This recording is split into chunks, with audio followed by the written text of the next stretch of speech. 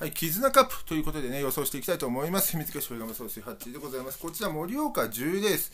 日曜日の、えーと、盛岡の重賞 M2 クラスの競争で、あと 1200m で行われます。こちらをね、予想していこうと思っております。まあ、盛岡もね、あの芝ダートそれぞれということで、路線が分立してるんで、まあ、その中でね、こういった形で今回は予想をしてみましたんでが、えーと、まず4番のキラットダイヤ、JRA2 勝クラスから移籍して以降、に初戦こそ落としたものの重賞3連勝中ということでね、まあ、現在の盛岡の、まあえーと、ダートスプリンターのトップではないかなというふうには思います。まあ、なのでね、ここは信頼をして軸でいこうかなというふうに思っております。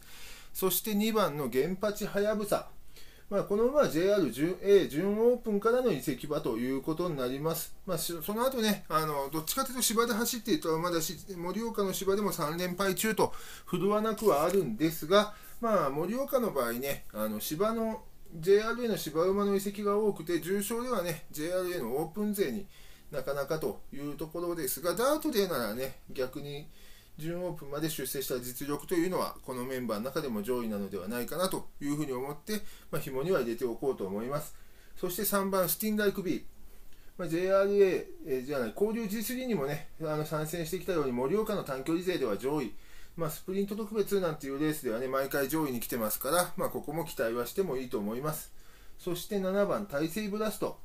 この馬もね、重賞ではコンスタントに上位に来てるし、まあ、持ち時計も上位ということで期待はしておこうと思います。そして9番、ドラセナ。